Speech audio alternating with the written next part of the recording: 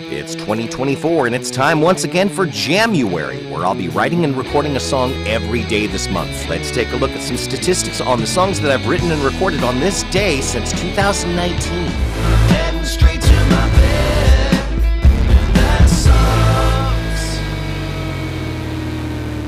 Turn off your phone. Turn off your phone.